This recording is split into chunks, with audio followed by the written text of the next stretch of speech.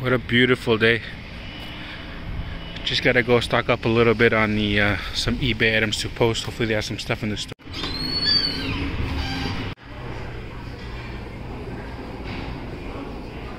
So generally I like to go to the electronics section right here.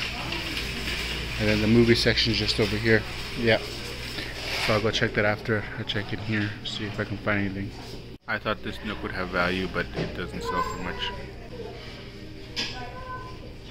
Pretty cool looking joystick. Just gonna quickly look it up and see if it has any value. Not bad, look at that, $26, $42, nice. They had no uh, video games or movie box sets uh, that had any value to pick up.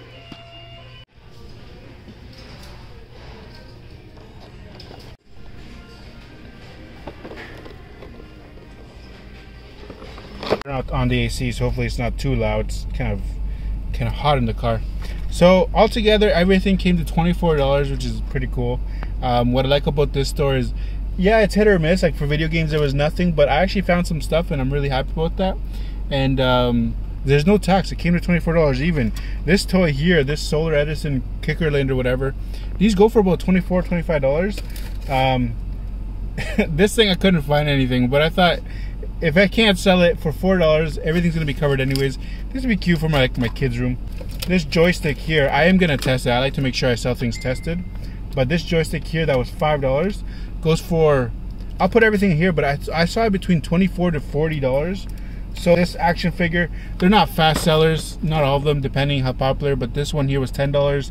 Um, I got maybe 25 for it. Uh, yeah, like with between everything for 24 dollars, I should get $80 gross. So after pro, after costs and everything like that, you know, but just say $50 profit to be conservative. But like for a quick spur of the moment thing, like I went to go drop off a package and I'm like, you know what? I'm 10 minutes away. Let me just quickly go check what they have.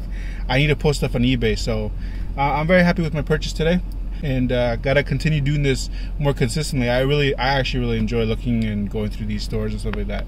So anyways, that's it for this one. So we'll see you in the next one. Thanks for watching.